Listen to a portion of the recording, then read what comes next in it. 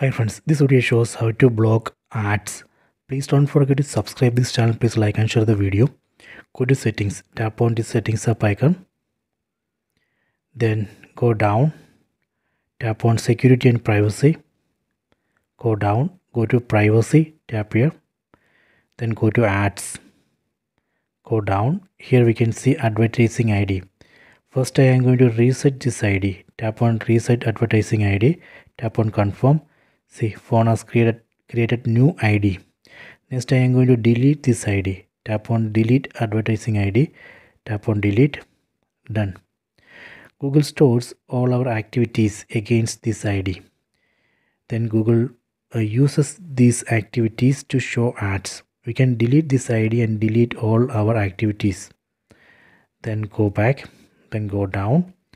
Then go to activity controls. Tap here here we have to turn off three options. Option 1 Web and app activity. Tap on turn off, turn off, then tap on code it, done.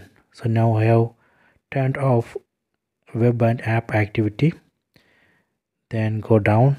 Next I'm going to turn off timeline. Tap on turn off, turn off. Then tap on code it, done. Then go down the last one.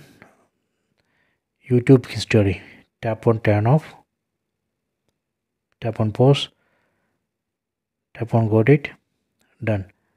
Google uses this YouTube search history to show ads. So better. Turn off this as well.